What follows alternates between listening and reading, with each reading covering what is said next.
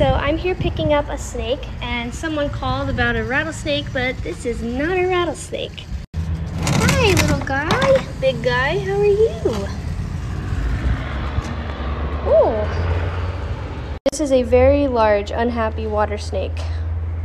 You're all right, dude. I'm gonna take you out of here and let you go somewhere where you'll be safe. Because you can't stay in an apartment complex. I'm sorry. So I am gonna put you in this for your trip to your new home. Here you go.